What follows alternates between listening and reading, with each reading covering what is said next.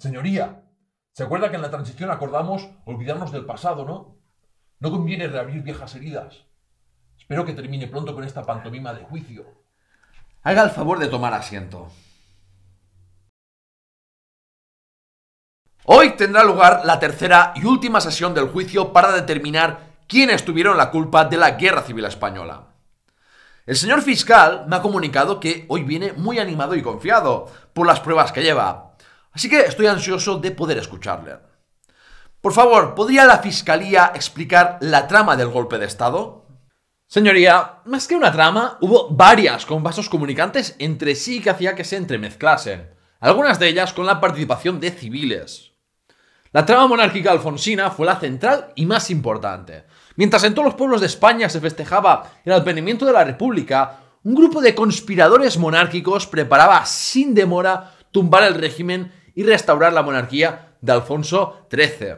José Sanjurjo y Francisco Franco estuvieron tentados a dar un golpe el 14 de abril de 1931. Y ese mismo día personalidades como José Calvo Sotelo, y José Antonio Primo de Rivera se reunieron para discutir la financiación de un golpe de Estado. Sabían que no podían ganarse el apoyo de las masas, y solo pretendían ganar los apoyos necesarios entre políticos, militares y oligarcas adinerados. Luego estaban los monárquicos carlistas, que a los pocos meses de proclamarse la República planearon una insurrección. Terminaron por unirse a la trama alfonsina gracias a las buenas relaciones que mantenían con el general Sanjurjo. También hubo varios intentos de golpe de Estado militar puros. Eh, Falange también planeó por su cuenta una marcha sobre Madrid, como la que hicieron en Roma los, los fascistas italianos, pero no pudieron por falta de hombres. Por no hablar de los intentos de golpe de Estado blando antes de llegar al poder el Frente Popular. Al final, derechistas civiles y militares de distinto color, laicos, antiliberales, integristas católicos, monárquicos alfonsinos, carlistas y fascistas se unieron en el golpe de Estado que aceleró sus preparativos desde febrero de 1936. En aquella época la mayoría de personas de derechas en España no aceptaban la democracia liberal y la voluntad expresada en las urnas que había dado la victoria al Frente Popular. Y por otro lado estaban sectores muy reaccionarios del ejército que se creían por encima del poder civil. Como he dicho, la trama monárquica alfonsina, en la que participaban tanto militares como civiles, fue la más importante de todas, y tuvo una continuidad desde abril de 1931 hasta julio de 1936. Dentro y fuera de España realizaban gestiones para preparar un golpe, desde recaudar fondos entre aristócratas y otras personas afines, hacer acopio de armas, actividades propagandísticas públicas para crear un ambiente más favorable a un golpe, y contactar con oficiales para ver quiénes estarían dispuestos a, dar, a unirse a un golpe. Tras fracasar la Sanjurjada en agosto de 1932, algunos aristócratas conspiradores fueron a visitar a Alfonso XIII en París para obtener su visto bueno para una restauración monárquica y que contribuyese en la búsqueda de financiación.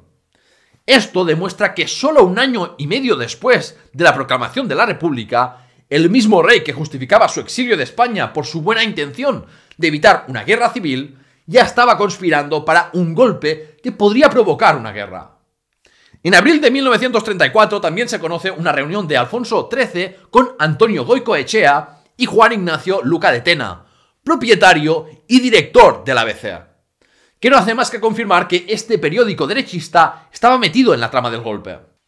Incluso bajo el gobierno derechista de Leroux, con el apoyo de la CEDA, era necesario seguir preparando el golpe, porque la república en sí misma era revolucionaria.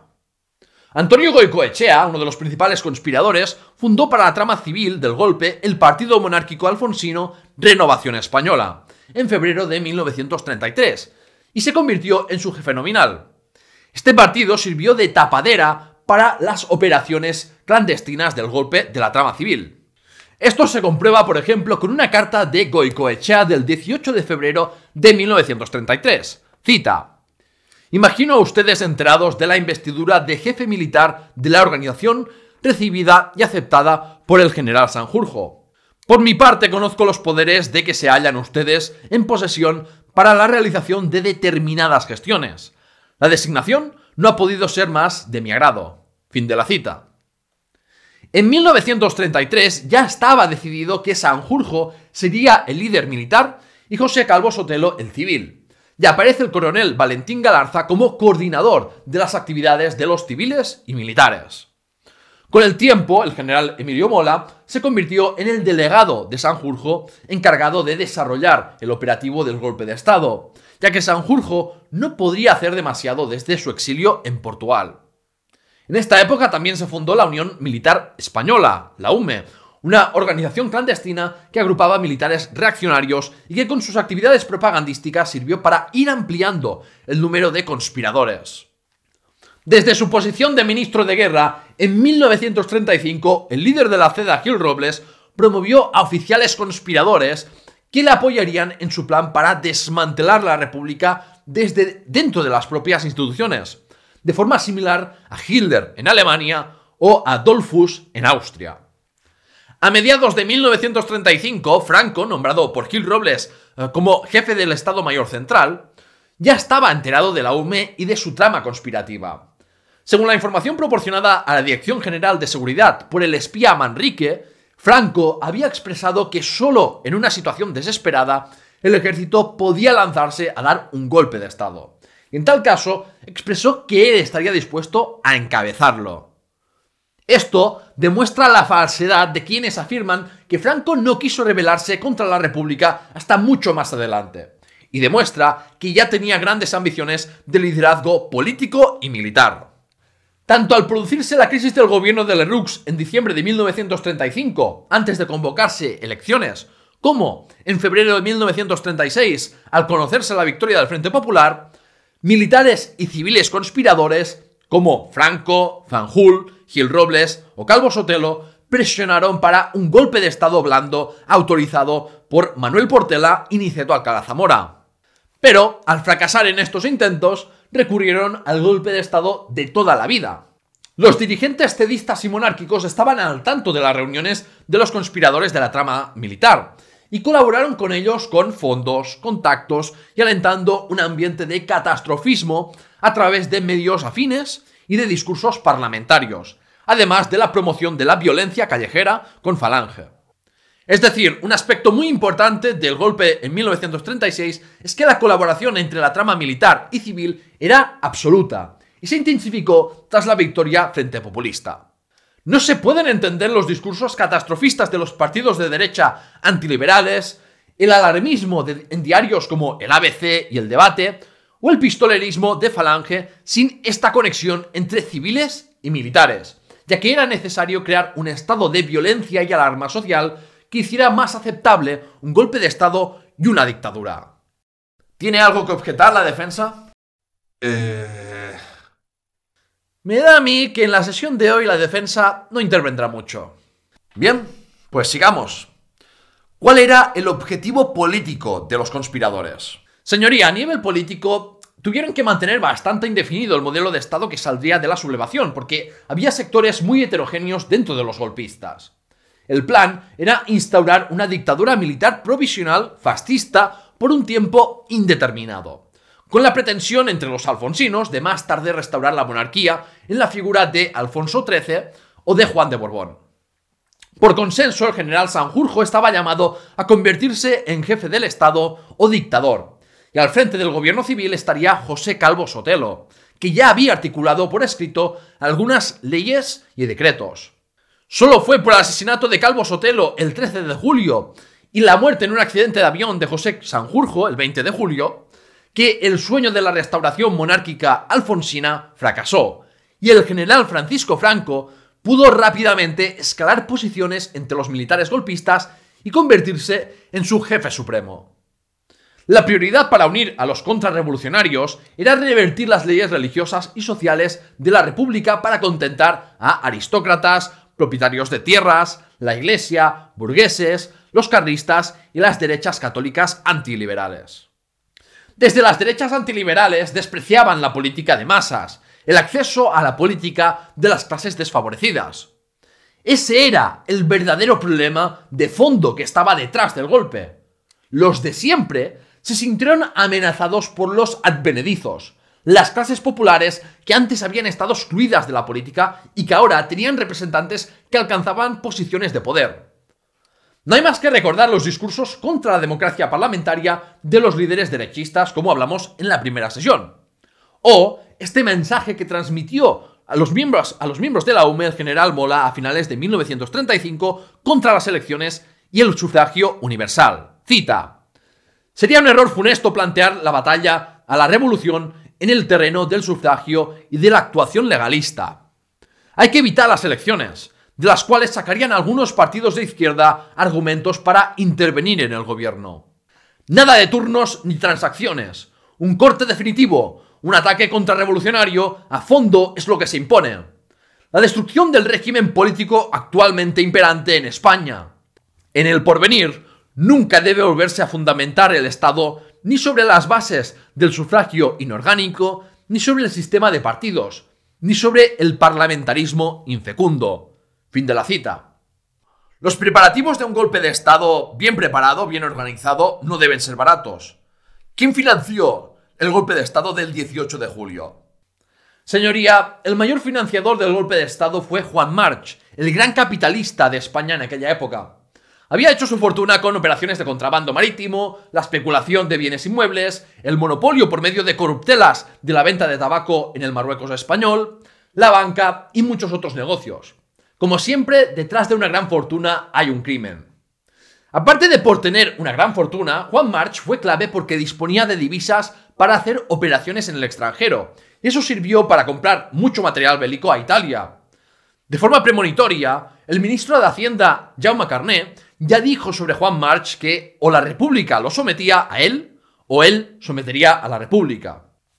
Entre el golpe de Estado y la guerra civil, Juan March proporcionó a los sublevados el equivalente a una cuarta parte de las reservas de oro del Banco de España. Es difícil saber cuán racional era que Juan March pusiera tanto dinero sobre la mesa, y quizás se dejó llevar por su posición monárquica y su odio profundo contra la República. Pero de las primeras cosas que hizo Franco el 1 de abril de 1939, al dar por finalizada la guerra, fue firmar una ley para reconocer como deudas del Estado español las contraídas con los bancos de Juan March. Aparte de Juan March, quienes más contribuyeron a la financiación del golpe de Estado fueron los grandes de España, los mayores latifundistas aristócratas de España. Solo hay estimaciones variables del costo total de las operaciones de las conspiraciones monárquicas eh, entre 1931 y 1936. Pero el camarada Ángel Viñas ha estimado un mínimo del equivalente a 700 millones de euros con los datos que conocemos. Y serían muchos más seguramente si tuviésemos más, más documentación. Si hablásemos de los gastos de los sublevados en la guerra civil, los principales financiadores, aparte de los mencionados, fueron Italia y Alemania, numerosos bancos españoles y de otras partes de Europa, judíos del norte de África, del África español, el multimillonario catalanista conservador Francesc Cambó, y la petrolera estadounidense Texaco, además de cientos de empresarios y propietarios españoles. La Fiscalía ha acusado a los conspiradores civiles y militares de cometer el delito de traición al confabular con una potencia extranjera, Italia. ¿Qué pruebas tiene al respecto? Muchísimas, señoría. El reputado historiador y camarada Ángel Viñas ha estudiado la cuestión en profundidad. Está de hecho entre la lista de fuentes que he proporcionado su libro ¿Quién quiso la guerra civil? Ese es un propagandista rojo. Lávate la boca antes de hablar del camarada Ángel Viñas. Él sí que va a los archivos y a las fuentes primarias, no como Payne, Moa y demás pseudohistoriadores que siguen blanqueando el franquismo con sus mentiras. ¡Orden! ¡Orden! Le he hecho una pregunta al fiscal. Quiero ver las evidencias de esa presunta conexión italiana. Señoría, interviniendo en España, Italia ganaba un gobierno amigo con la intención de ayudarles eh, a conseguir una hegemonía italiana sobre el Mediterráneo central y occidental contra Francia y Reino Unido. Lograban extender el modelo de Estado fascista a otros países y de paso ganar dinero. Los contactos entre la Italia fascista y los conspiradores civiles y militares alfonsinos se remontan al menos a 1932, cuando para la Sanjurjada el general español contactó con los italianos para acordar el suministro de ametralladoras. El primer contacto directo de Calvo Sotelo con la Italia fascista ocurrió en febrero de 1933, sin que trasciendan muchos detalles de lo conseguido. pero también en el año 1934 hizo varios viajes a Italia.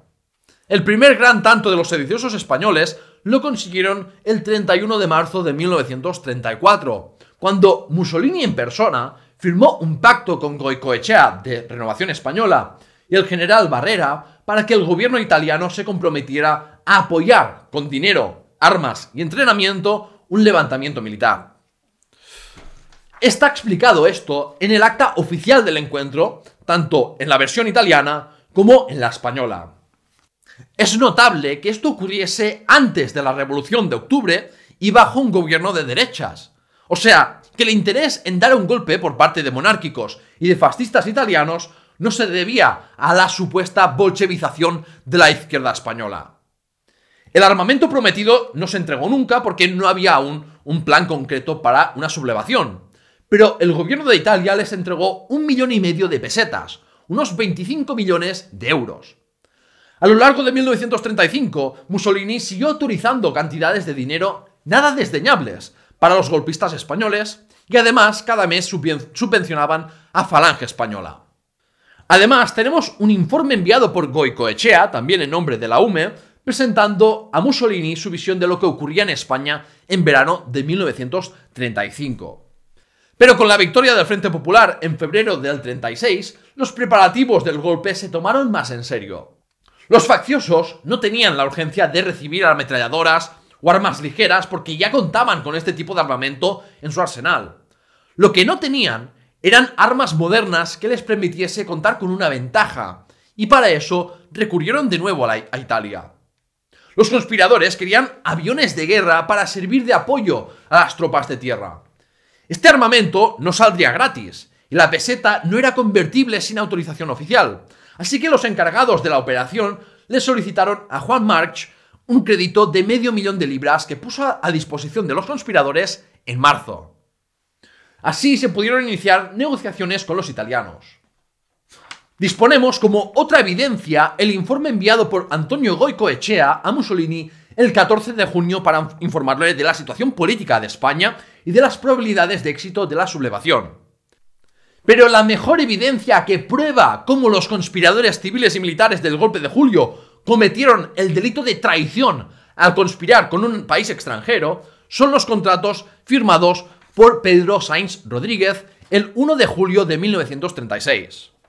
Disponemos de las copias en italiano de los contratos que conservó uno de los principales conspiradores, Antonio Goicoechea, con todo lujo de, detalles de los aviones y cazas, armamentos, municiones y otro material bélico que Italia iba a proveer a los sublevados a través de la empresa aeronáutica SIAI, para ocultar que un gobierno nacional estaba ayudando a un golpe en un país con el que mantenía relaciones diplomáticas normales. El importe total de los contratos ascendía a 39,3 millones de liras, equivalente a más de 600.000 libras británicas, equivalente también a unos 339 millones de euros de 2010. Señor fiscal, en su opinión, ¿cuán importante fue la ayuda internacional para los sublevados? Señoría, fue determinante para su victoria. Los sublevados ya tenían el apoyo de Italia y de Portugal antes del golpe, y luego, el 25 de julio, Franco consiguió el de la Alemania nazi, un apoyo importante además para que Franco se erigiera como líder de la sublevación. Portugal se convirtió en el centro logístico de los sediciosos antes y durante la guerra. Y desde allí recibían mucho del armamento de Alemania e Italia. Y además los portugueses dejaron que los rebeldes usaran sus infraestructuras y les dieron créditos. Franco fracasó en conseguir el apoyo de la Marina, y sin sus barcos no tenían medios propios para transportar al grueso del ejército sublevado y de sus mejores soldados que se encontraban en Marruecos. Fue gracias a los aviones de transporte de Alemania y de Italia que pudieron llevar a cabo el primer puente aéreo a gran escala de la historia, con lo que así pudieron transportar el ejército de África a la península. Si el ejército de África se hubiera quedado donde estaba, las probabilidades de éxito de los sublevados hubieran quedado muy reducidas. El petróleo de los sublevados tampoco venía caído del cielo, porque Alemania e Italia eran países importadores al igual que España. Fue la estadounidense Texaco, dirigida por un fascista, quien proveyó la mayoría de los combustibles para los aviones, camiones y otros vehículos de los traidores. Al fallar en tomar Madrid en 1936, numerosos oficiales sublevados pensaron que todo había acabado para ellos. Y solo fue con el envío de soldados italianos y alemanes que pudieron salvar los muebles. Todo eso mientras que ya Reino Unido, Francia y otros países habían privado al gobierno legítimo y democrático de la República de la posibilidad de comprar armamento y de financiarse en el extranjero, salvo en la URSS. Mientras que los sublevados se estaban financiando a base de muchos créditos internacionales. La Unión Soviética ni pudo ni quiso igualar la ayuda italiana y alemana. Así que no se puede decir que los sublevados y republicanos estuvieran en igualdad de condiciones en ningún momento. Señoría, me he tomado la molestia de calcular cuántos extranjeros participaron en la Guerra Civil Española, o mejor dicho, Guerra de España, por lo importantes que fueron estas intervenciones desde el extranjero. Por orden numérico en importancia, participaron 79.000 italianos, 78.500 marroquíes, 35.000 brigadistas internacionales de varias nacionalidades, 19.000 alemanes, 10.000 portugueses, 2.000 soviéticos, 700 irlandeses ultracatólicos y fascistas y 500 franceses de extrema derecha. Más de 220.000 extranjeros participaron en la guerra, 37.000 en el bando republicano frente a los 187.000 del bando sublevado. Y luego tienen la desfachatez de llamarse bando nacional sin esa ayuda internacional hubieran sido aplastados como las cucarachas traidoras que eran. Pero si los rojos estaban controlados y financiados por una conspiración judeo-masónica y comunista internacional. ¿Dónde están las pruebas que demuestren esa acusación, Tolai? Orden, haya paz.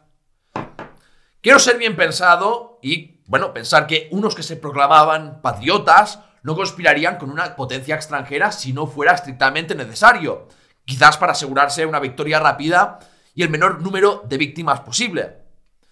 ¿Puede ser que los presuntos golpistas no pretendiesen empezar una guerra civil? No, señoría, eso no es defendible. Es cierto que los conspiradores no contemplaron muchos riesgos. No se imaginaban que el gobierno no caería fácilmente y que los obreros se movilizarían rápidamente para defender la república.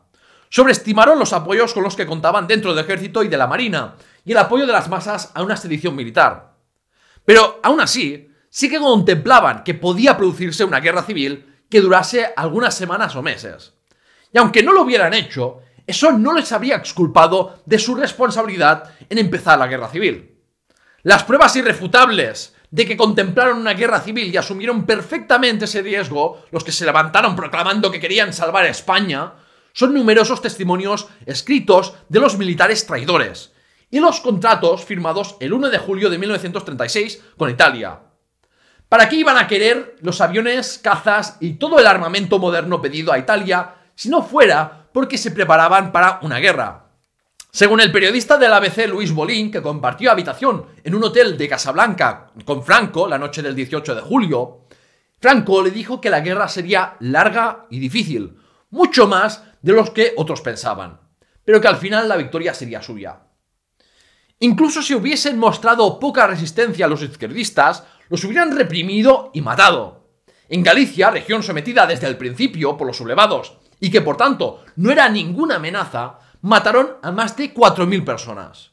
Tras la guerra civil, entre 1939 y 1945, el régimen franquista ejecutó a 50.000 personas. ¿Había alguna necesidad de ello? ¿Suponían algún peligro? No. Las pruebas de la voluntad genocida de los sublevados son abundantes tanto antes como durante la guerra. En la instrucción de Mola del 25 de abril de 1936 escribía, cita, se tendrá en cuenta que la acción ha de ser en extremo violenta para reducir lo antes posible al enemigo, que es fuerte y bien organizado. Desde luego serán encarcelados todos los directivos de los partidos políticos, sociedades o sindicatos no afectos al movimiento, aplicándoles castigos ejemplares a dichos individuos para estrangular los movimientos de rebeldía o huelgas. Fin de la cita.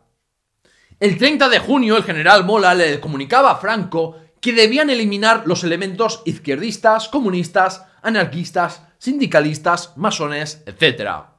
El bando de proclamación del estado de guerra en Pamplona el 19 de julio decía por parte de Mola, cita, hay que sembrar el terror, hay que dar la sensación de dominio eliminando sin escrúpulos ni vacilación a todos los que no piensen como nosotros. Nada de cobardías. Si vacilamos un momento y no procedemos con la máxima energía, no ganamos la partida. Todo aquel que ampare u oculte un sujeto comunista o del Frente Popular será pasado por las armas. Fin de la cita. Para responder al rumor de la prensa francesa de que Indalecio Prieto iba a negociar con los rebeldes para terminar el conflicto, el 31 de julio del 36, Emilio Mola dijo en Radio Pamplona, cita, ¿Parlamentar? Jamás. Esta guerra tiene que terminar con el exterminio de los enemigos de España. Quiero derrotarlos para imponerles mi voluntad, que es la vuestra, y para aniquilarlos. Fin de la cita. A su secretario, Mola le dijo, cita, una guerra de esta naturaleza tiene que acabar por el dominio de uno de los dos bandos y por el exterminio absoluto y total del vencido. Fin de la cita. Mola era un monstruo que se atrevía a afirmar, empezada la guerra, cita, yo veo a mi padre en las filas contrarias y lo fusilo. Fin de la cita. Pero es que no era solo Emilio Mola. El resto de militares pensaba exactamente igual. Al ser presionado por sus aliados internacionales fascistas para ir terminando la guerra en 1937, Franco dijo, cita, en una guerra civil es preferible una ocupación sistemática del territorio acompañada por una limpieza necesaria a una rápida derrota de los ejércitos enemigos que deje el país infectado de adversarios. Fin de la cita. El general Keipo de Llano, el 18 de julio, anunció en la radio, cita, Sevillanos, la suerte está echada y decidida por nosotros. Y es inútil que la canalla resista y produzca esa algarabía de gritos y tiros que oís por todas partes. Tropas del tercio irregulares se encuentran ya camino de Sevilla, y en cuanto lleguen, esos alborotadores serán cazados como alimañas. ¡Viva España! ¡Viva la República! Fin de la cita. Luego, las tropas de Queipo de Llano mataron a más de 12.000 personas en la provincia de Sevilla. Pero bueno, Supongo que si gritaba Viva España y la República, eran unos patriotas.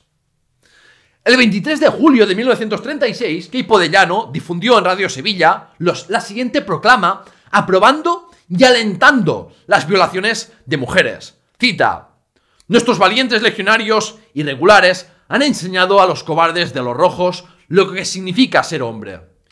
Y de paso, también a las mujeres. Después de todo, estas comunistas y anarquistas se lo merecen. ¿No han estado jugando al amor libre? Ahora por lo menos sabrán lo que son hombres de verdad. No se van a librar por mucho que forcejeen y patalen. Fin de la cita. El coronel Juan Yagüe en Badajoz, con un ejército de legionarios y de regulares marroquíes, mató a todos los defensores de Badajoz y llevó a cabo saqueos, violaciones y ejecuciones sistemáticas. En la plaza de toros de Badajoz mató a unas 4.000 personas con ametralladoras en un espectáculo grotesco. A un periodista estadounidense, Yahweh admitió la matanza así. Cita. Claro que les disparamos, dijo.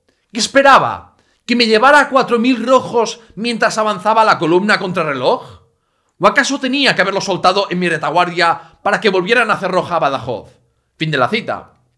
Según recogió el diario de Burgos en octubre de 1937, el carnicero de Badajoz expresó frente a un auditorio entre las risas y aplausos del público, cita, y al que resista ya sabéis lo que tenéis que hacer. A la cárcel o al paredón. Lo mismo da.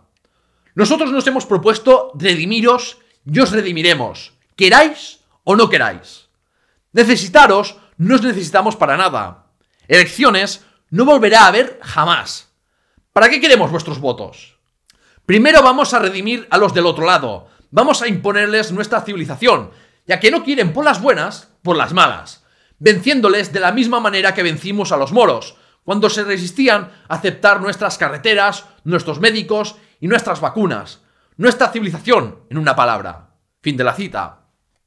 Yahweh era un exterminador, pero con una actitud paternalista venía a decir que exterminaba por el bien de los españoles.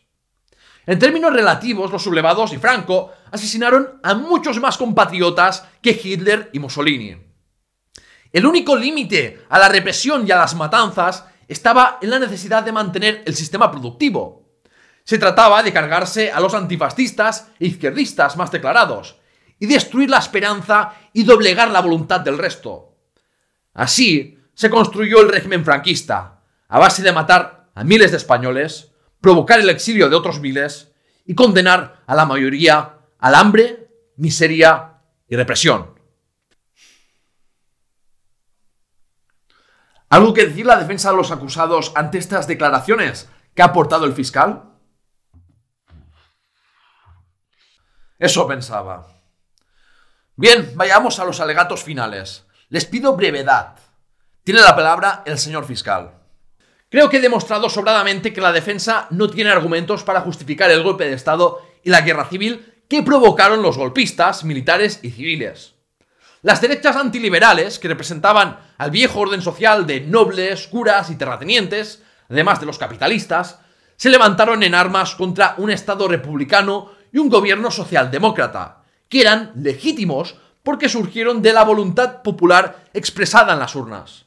La guerra civil no fue inevitable, fue el resultado de una conspiración de militares y civiles monárquicos y fascistas ayudados por potencias fascistas extranjeras que no aceptaban el sufragio universal, ni aceptaban ceder ni un palmo de su posición socioeconómica privilegiada, ni aceptaban una España diferente a la monárquica, católica y caciquil.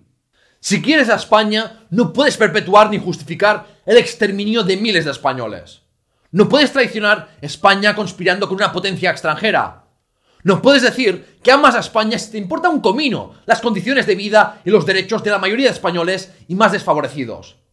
La mayoría de españoles, incluyendo los del bando sublevado, salieron perdiendo, y solo unos pocos vinculados al poder se enriquecieron y ganaron poder con la guerra. Los traidores a España triunfaron, y tras 40 años de dictadura y más de 40 de democracia, ya va siendo hora de que rindan cuentas ante la historia. Muy bien, la defensa puede proceder con su alegato final. Reconozco que el fiscal es diestro en las palabras como buen propagandista comunista. Pero eso no cambia que la República no llegó por ningún procedimiento legal ni fue votada en las urnas para sustituir a la monarquía, el único régimen legítimo en España. Los rojos, que ahora tanto dan lecciones de democracia, estaban en contra de ella. Lo demostraron bien los socialistas, comunistas y demás bárbaros rojos al perder las elecciones de 1933 y montar una sangrienta revolución en octubre de 1934 que no fue más que un ensayo del terror rojo que llegaría en la primavera de 1936 y después del glorioso alzamiento nacional. Su objetivo último siempre fue una dictadura del proletariado, y había millones de españoles que no iban a tolerar que eso sucediera porque eso significaba su ruina y muerte. Para los rojos, la República era un proyecto propiedad exclusiva de la izquierda. Como querían que las derechas se sintieran representadas y se quedasen de brazos cruzados. La guerra civil fue culpa de la izquierda por haber excluido a las derechas y atacado a los católicos, a los militares, a los que daban trabajo a la gente. Los rojos eran amigos de los separatistas, masones y judíos, y vendieron la patria a los rusos porque querían sovietizar España. Atacaban la esencia misma de España. Y es que España, sin la monarquía, la fe católica y el espíritu imperial vertebrado por el ejército, no es España. La primavera trágica del 36 no fue más que la constatación de que querían llevar a cabo una revolución. Y por culpa de los rojos, media España no tuvo más remedio que levantarse porque se resignaba a morir. Bien. Pues sabéis que toca ahora, ¿verdad? ¡El veredicto!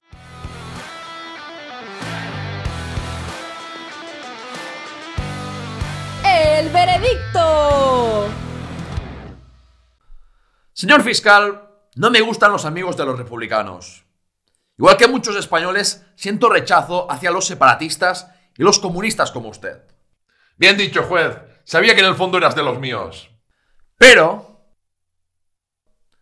Mis simpatías políticas no deben influir en la sentencia de un juicio en un Estado de Derecho.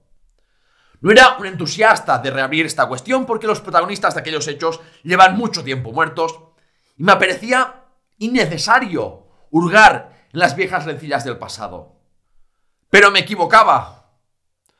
Tenía entendida la guerra civil como una guerra fratricida provocada por los extremistas de un lado y otro del espectro político que arrastraron a una mayoría moderada a la peor tragedia de la historia de España.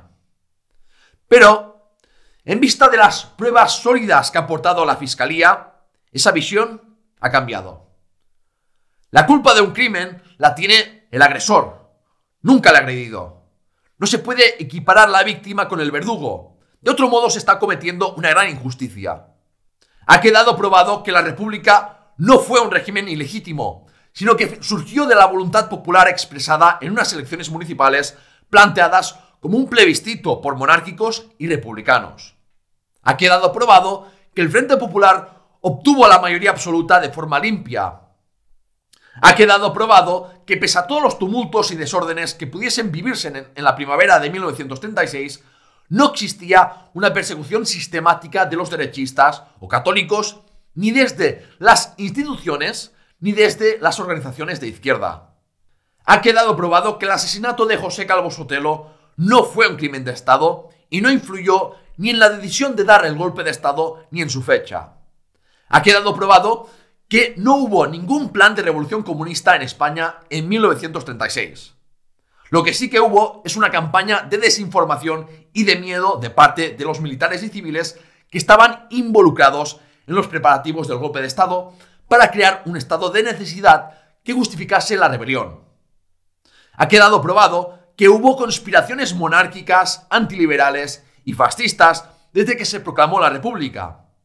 Ha quedado probado que los conspiradores buscaron la ayuda de la Italia fascista y el amparo de Portugal, y que la ayuda internacional a los sublevados durante la guerra civil y las trabas a la ayuda exterior que sufrió la República fueron determinantes en la victoria de los rebeldes. Ya ha quedado probado que los conspiradores eran conscientes de que podían provocar una guerra civil y mostraron una voluntad de exterminar a sus opositores políticos, antes y durante la guerra. Los acusados son responsables directos o indirectos de todas las consecuencias de la guerra civil. Por todo ello, declaro culpables de la guerra civil y de todos los cargos imputados a los militares golpistas, civiles, potencias extranjeras y organizaciones que participaron en la preparación del golpe y en el apoyo a los sublevados durante la guerra. ¿Cómo osas? Eso no es lo que pactamos en la transición. Llévenselo. Que la maldición de Franco caiga sobre ti y tu descendencia. Hoy nos reunimos para emitir el veredicto de un asunto trascendental de la historia de España. Se trata de cerrar, de verdad, el capítulo más oscuro de nuestra historia. Las heridas de la historia no se cierran escondiendo la verdad. Los españoles y el mundo entero merecen conocerla. La política es el arte de construir puentes, no abismos.